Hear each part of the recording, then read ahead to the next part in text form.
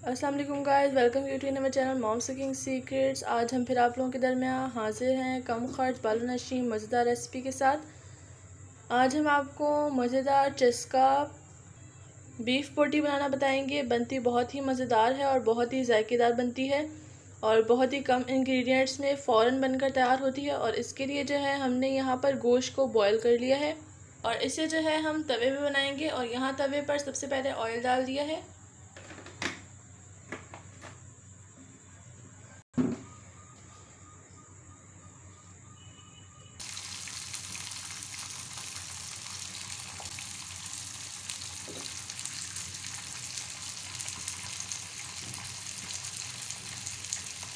तो ये हमारा प्याज हल्का सा गुलाबी हो चुका है तो अब हम इसमें टमाटर डाल देंगे।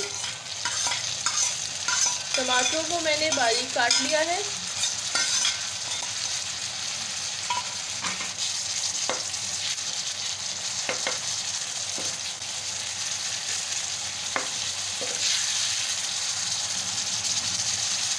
तो मसाला जितना अच्छा बनेगा, उतना ही हमारे बीफ का टेस्ट भी अच्छा लगेगा।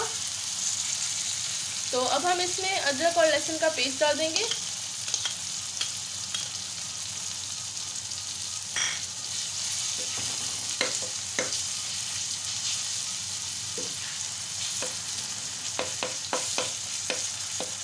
बिल्कुल सेम स्टेप्स को फॉलो करके अगर आप ये चस्का बीफ पोटी बनाएँगे तो बहुत ही मज़ेदार बनेगा।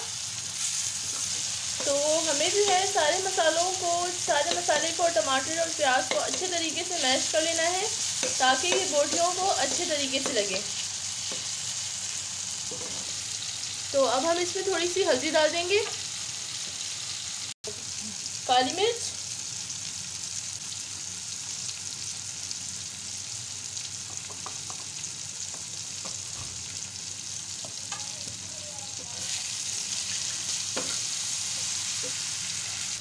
नमक अकॉर्डिंग टू टेस्ट नमक जो है हमने गोश्त को बॉयल करते वक्त भी डाला था, इसलिए नमक अभी हम इतना नहीं डालेंगे। बारीक कटी हुई हरी मिर्चें। तो अभी हम इसमें दही ऐड कर देंगे। और इसमें जो है कोई ज़्यादा मसाले डालने की ज़रूरत नहीं होती। ये हरी मिर्चों और टमाटर, प्याज और ये बहुत कम से मसालों में ही बनकर तैयार होता है। और इसका टेस्ट बहुत ही ज़्यादा अच्छा आता है।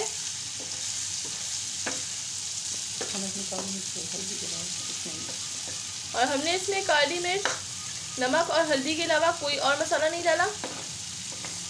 तो ये मसाला हमारा अच्छे तरीके से भुन चुका है। और इसमें टमाटर और प्याज अच्छे तरीके से मैश हो चुका है। अब हम इसमें बोटियाँ डाल देंगे।